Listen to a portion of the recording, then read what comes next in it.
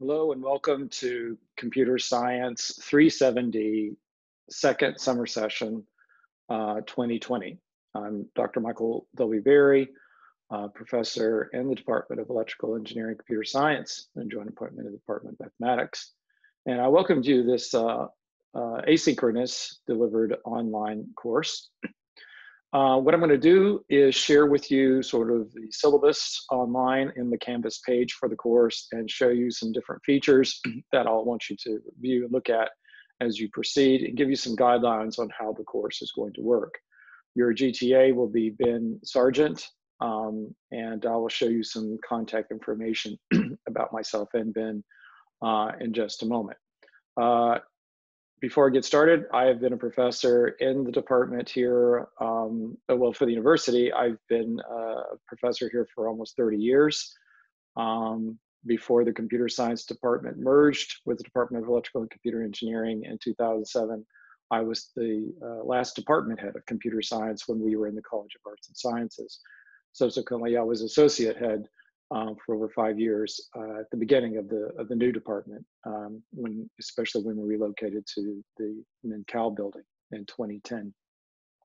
So this course is on scientific computing, and scientific computing is very uh, very important to me because my career has been based on the kinds of computations related to what we do in uh, applied science. And um, I had a similar course to this when I was an undergraduate, and it really wanted me it really encouraged me to focus on computing for solving problems in science.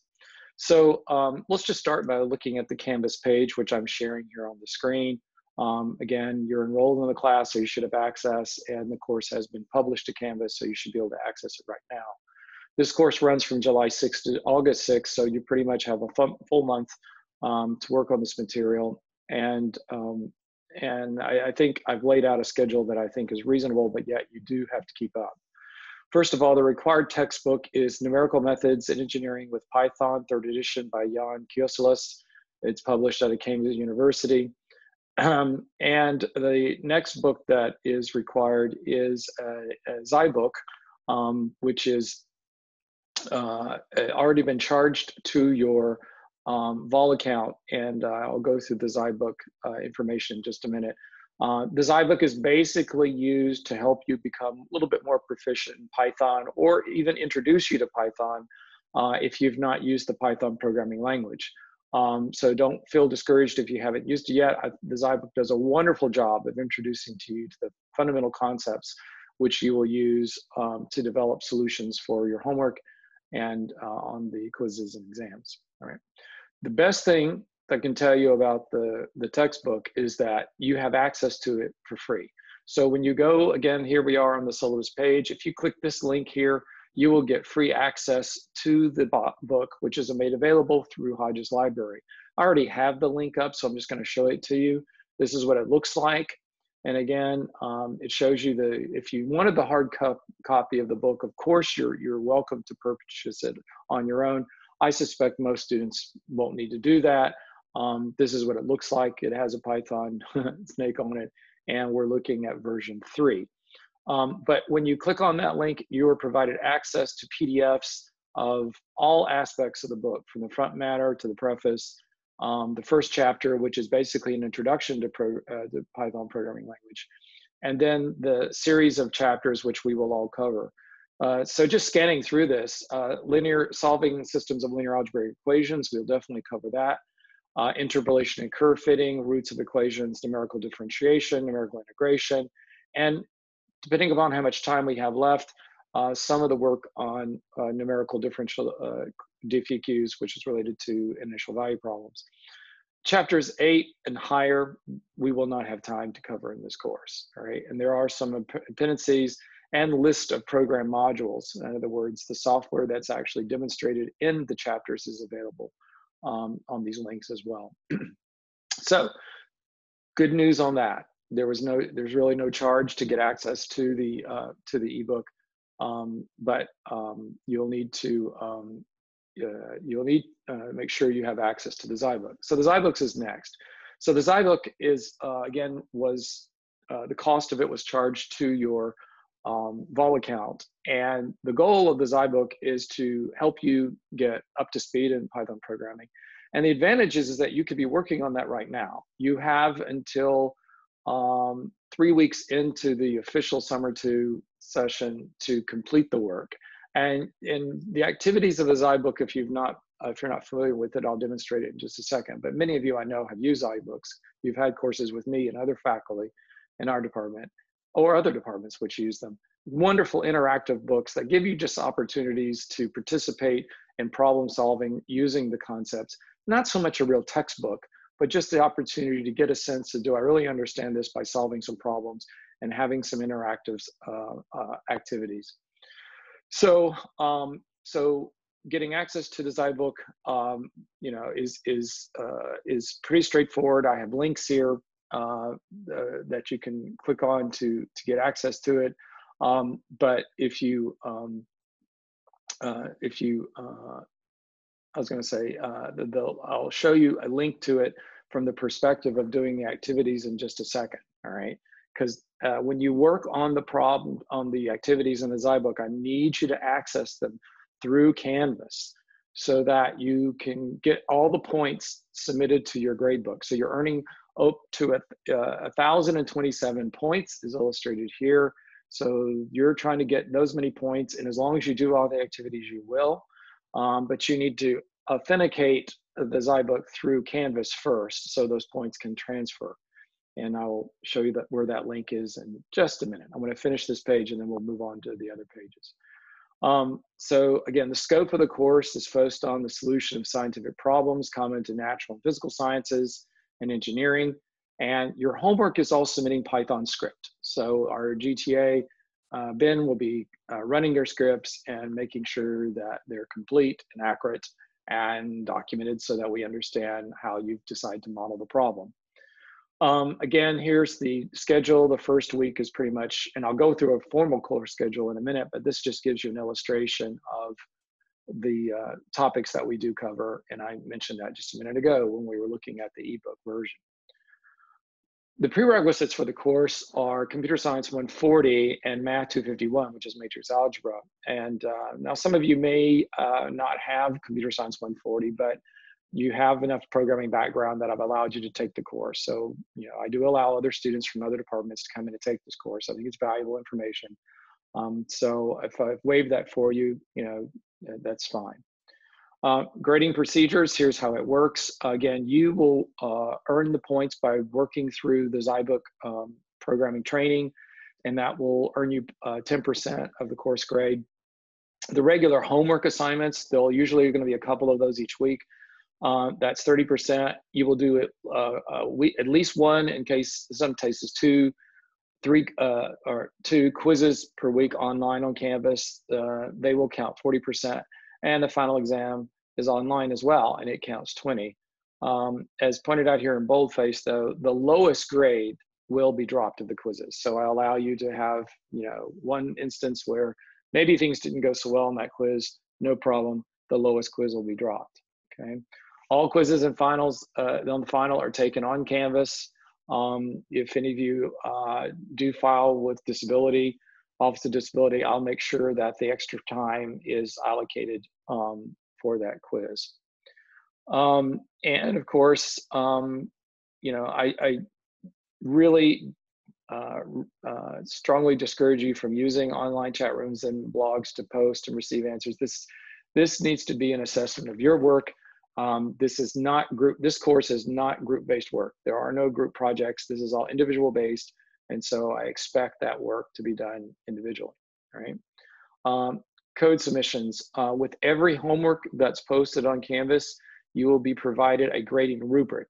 Basically, that's just telling you how the menu that the GTA is going to use to, um, to score your, your work.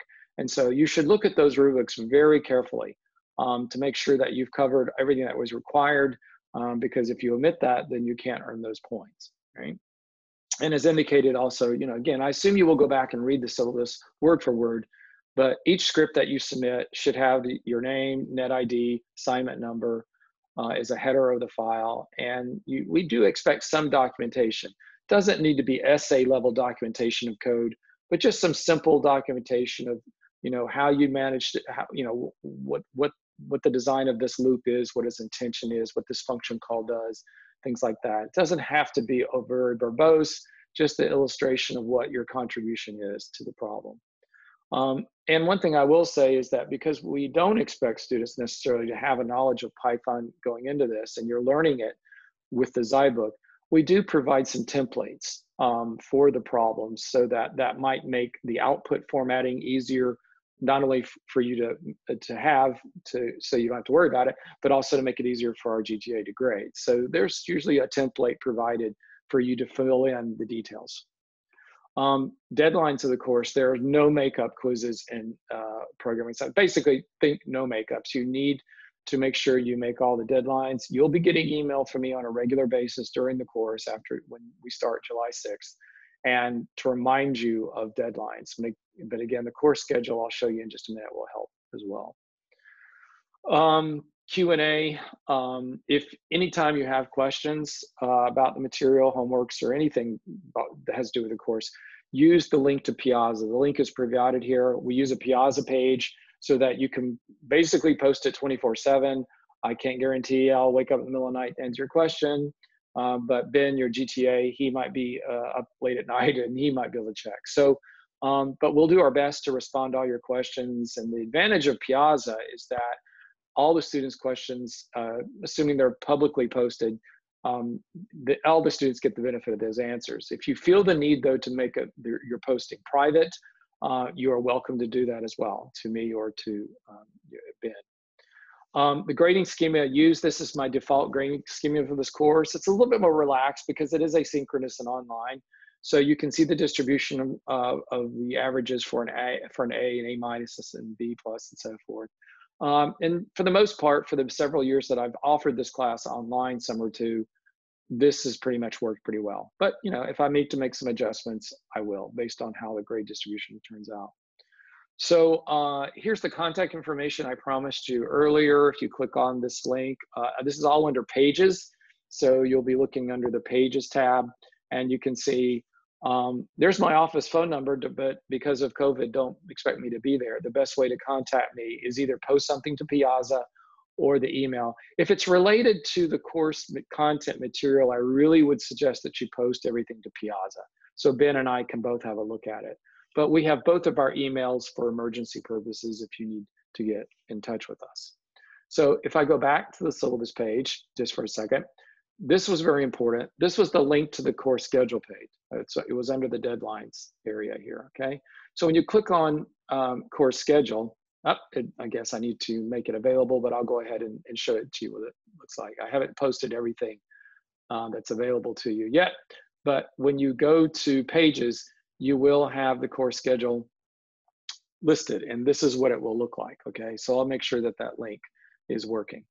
All right, so here's the course schedule. This is what it looks like. Simple tables that illustrate the five weeks. It's really more like four and a half, but, but here are the five weeks of the course delineated by their dates.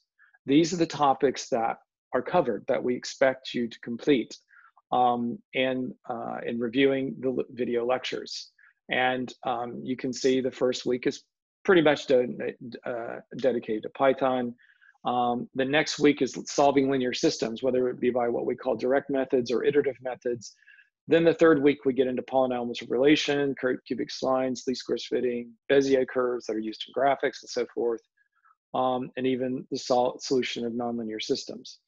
Fourth week is finite difference approximations, Richardson extrapolation, how do you compute derivatives using interpolation. Everything in this course is about numerical approximations, not analytical things we can do in pencil and paper okay? Um, and then finally, the last week is dedicated to solving differential equations, uh, ordinary differential equations, um, numerically. Now, in the last column are the YouTube playlists. So I have built playlists for all of these. So what this means is when you click on the, um, the, the link to the playlist, and I'll do that just for uh, just to demonstrate, it will take you to all of the videos uh, for that playlist and you can see all of them, okay? And you can start from the first one and work all the way through the end on your own, all right? but I'll uh, just pay attention to, in a minute, I'll show you the other table. We'll show you when homework is due and when um, uh, the quizzes are done. But it's a good idea to allot yourself enough time. And the advantage of the playlist is you can look at each of these videos and see how long they are. Some are longer than the others. So that can kind of gauge, you know, during the week, how are you going to spend your time doing them? Some of you may be able to knock them all off in one evening. That's possible. But you can see the time it takes to get through each of them, right? Um, so we'll go back to the syllabus page. And the other thing is the other important table is the homework deadlines and the quizzes. So where you see the topics listed up here and you have the playlist for week one, here you have in this table everything you're going to be responsible for during either the beginning, middle, or the end of that week.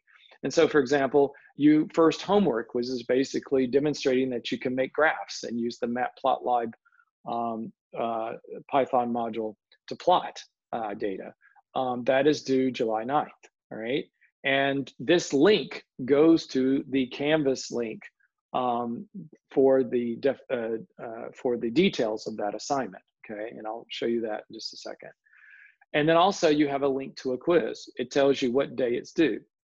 So the deadlines are as indicated here at the bottom of the table are always gonna be right before midnight, all right? Unless I specify otherwise. And there is a case because we have two quizzes coming at the very end in this almost in the same week. Um, they have to be due a little bit earlier, and I will again make sure you're aware of that when we get to that time. But when, in other words, if you click on this link right now, you would go to that quiz, but the quiz won't be available. Usually it'll be available a few days ahead of time. Just for example, if I was to click on this quiz, it would go to the quiz itself and you can see where I have the details specified that um, what the quiz covers, um, the format of it, basically it's multiple choice questions. You have an hour to complete it. Um, and it has to be finished, for example, Sunday, July 12th by 1159. But it's not available till June, July 10th at 8 a.m. So that gives you, again, a couple of days to complete it. So, so even when you see the deadline on the 12th, realize it's that's the ultimate deadline of that day, but usually it's released a few days ahead of time, okay? So let's go back uh, to the um, course page again. And again, when you click on the homework, it links over to the Canvas assignment page. And here we are in the assignment tab, right? Homework one. And this gives you all the specifications for you to read. And here's an example of a rubric um, that is being used to generate the 10 points that you can earn on this assignment, okay? So in all the assignments, you're uploading your, your program, your Python program um, for Ben to run, okay, and test, right? So uh, let's go back again uh, to the uh, syllabus just to see if uh, we've covered everything. Um, again, here's the distribution of the, the weighting of the different um, uh, assessments that we do in this course to get the 100%. Um, you know, you want to keep up. Um, the Zybook work is what I'm going to show you next. Um, the Zybook is available um, through Canvas in modules. So this is another important tab. The most important tabs are probably pages, quizzes, modules, and assignments, okay? And grades, of course. But if you click on modules for the course, um, got the course information, which is the, this is just the instructor GTA page. We've already seen that. Um, I will post this welcome video here, all right? This is the, the module for quizzes and the final exam. But this is the important link to access the Zybook. So this is where you launch your Zybook so that you can start working on those activities. And then you can always come back finish it, and come back and come back and relaunch this again. It'll remember where you left off. And so when you click on this link, you'll get access to the Zybook and the Zybook looks a little bit like this. And you can see it's broken into 13 chapters there. And you're going to work through all of the activities, all right? So there's, you know, for example, here's the introduction work, um, just the fundamentals. This, for most students, this goes very quickly, especially for computer science students. Um, but here's, for example, variables and expressions, and how do you find variables in Python? And it has wonderful little activities and here's an example of our participation activity. And you, you know, click on the activity, work through it, generate some points, and then when you finish the uh, that section, um, or actually that chapter, you there's usually a button to press that says, you know, transfer my points. Okay. But if you have any problems as you work through the Zybook, uh, earning those points, you can let me know um, because I can go in and look to make sure that you've done the activities and I can move the points over to Canvas if for some reason it won't. But I know that many of you have used this before. There are participating and challenge activities and through this whole exercise of 1,027 points that you're accumulating. But I think you'll find it a lot of a very useful uh, way of just testing and understanding, do I really know how to program with this language? Um, and so uh, again, you won't become the most proficient person going through the Zybook, but it gives you enough experience to be successful in this course and to help you launch your way into using the language for your other courses, for your research, senior design, and, and whatever comes down the way. All right, so um, so that's, whoops, that's what we needed to do with the Zybook. So um, I just wanted to make sure that that, that was clear. Um, the rest of the modules that were important is this one under the modules tab, course materials. If, uh, there's a couple of options to running Python 3. All right, so you can access Python 3 on our EECS lab machines if you have access to our machines remotely. All right, and this link um, will provide you information on how to do that. But most students actually find it very useful to have the interpreter on your own machine because you're probably going to want to use this language on your own anyway down the road. And so what you need to do is either you know, follow one of these links. I changed this where originally we were using Python 3.4, but you can use any Python 3 version that you can get to work. So some of you are going to put 3.7 on there. That's fine. All right. So I'm just going to say 3.x. But um, what we do need to do, and for example, I will illustrate, you know, for the Mac case, this is how procedures that we've developed through past several instances of this course, things could be a little bit different as the libraries change. But one thing that's very important is whatever version that you get of Python, version three in there, make sure you have NumPy, N-U-M-P-Y, uh, you know, a version of that installed, and you need to have matplotlib. So those are the two other modules that must be installed with your Python 3 um, to be to do all the work in this course. There's many other modules that are available in Python depending upon whether you're doing graph algorithms or any kind of optimization and circuits and so forth. But for now, those are the only two external modules we need, NumPy and Matplotlib, right?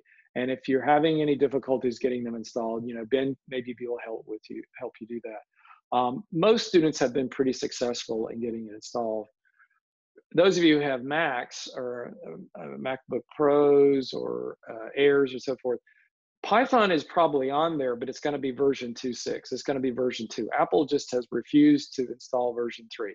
It hasn't passed their, their safety test for some reason. I don't know why. So um, if you you know if you're if you're using a Mac, you're probably still going to have to install your own version, version 3. Um, so again, these are useful links uh, and tips on you know uh, Visual Studio. You can install Python within it. There's a link for that. But we've tried to provide a couple of different instances of how you can get access. And again, if those of you just want to remote log into a um, uh, either a Tesla or a Hydra machine in the EECS labs, um, we show you that you can access um, the Python uh, through um, the appropriate bash shell um, for that. All right. Uh, there's also a link for the so source code from the textbook. It, one way to learn Python, of course, is to run existing code. So you're welcome to click on this link and it will take you to a table and illustrate the chapter that the code comes from. And you can click on any of these and get illustrations of the code um, and save it or open it. I'm not going to do that right now, but you can save it and download it. And then you could, you know, play around with it with your interpreter or even test to make sure that your Python installation is working correctly, okay? Um, again, there's also the link here to the lecture notes and the videos. That's also under course materials. I also have it linked from the course schedule page. So either way, you have access. Um, but uh, let me click on the lecture notes. So the lecture notes are PDF files. They're broken by chapters. Here's chapter two, for example. Um, this one I will open with Acrobat just so that you can see it. And it's basically just the PowerPoint kind of bullet stuff that I will be working with in the video lectures. So I annotate these lecture notes on the video. So it's a good idea to have them out and available. Um, you could print them out. And as I'm going through the lecture, you could be writing on them with me as I do. Uh, if you have a Surface tablet or a, an iPad, you know, you can use your own uh, interactive tools to, to, to be marking on the PDF file or whatever format file that you want to use for online editing. So um, so the notes are all there. And again, there's some information that I fill in with you. So we kind of make it a little bit interactive. But the lecture notes are all there, nothing hidden from you. Okay. All right. So um, I think that's pretty much uh, most of the details that I wanted to cover uh, for this introduction. Uh, my background here is the Summit uh, supercomputer at one time was the world's fastest supercomputer scientific computing is a big part of what supercomputers are doing in terms of solving complex problems from climate modeling to actually right now dealing with COVID and trying to figure out all the possible interactions and genetic structures that might help us understand this disease and hopefully render one day a virus, right? So with that, uh, I'm glad you're part of the course. Um, again, uh, use Piazza uh, to post questions on the material as it comes about. Uh, we'll be starting July 6th. I'll be sending email out to welcome you and to get you started.